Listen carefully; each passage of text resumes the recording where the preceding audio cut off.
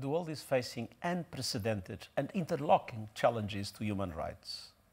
Hunger and poverty are increasing and affront the economic and social rights of hundreds of millions of people. Civic space is shrinking, media freedom and the safety of journalists are in dangerous decline in almost every region of the world.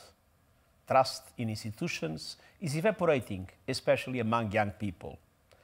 The COVID 19 pandemic has led to increased levels of violence against women and girls.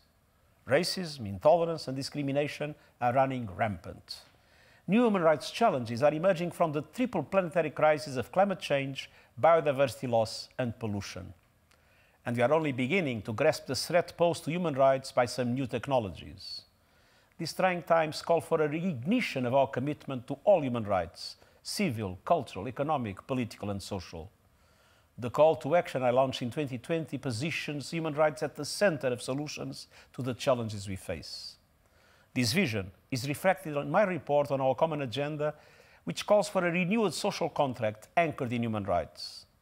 The 75th anniversary of the landmark Universal Declaration on Human Rights next year must be an opportunity for action. I urge member states, civil society, the private sector, and others to put human rights at the heart of efforts to reverse today's damaging trends.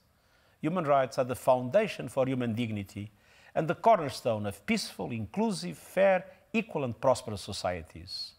They are a unifying force and a rallying cry. They reflect the most fundamental thing we share, our common humanity. On this Human Rights Day, we reaffirm the universality and the indivisibility of all rights, and we stand up for human rights for all.